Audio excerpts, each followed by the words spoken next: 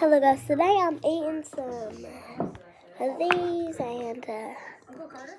Forgot your scarf. Why are you talking to very, very good.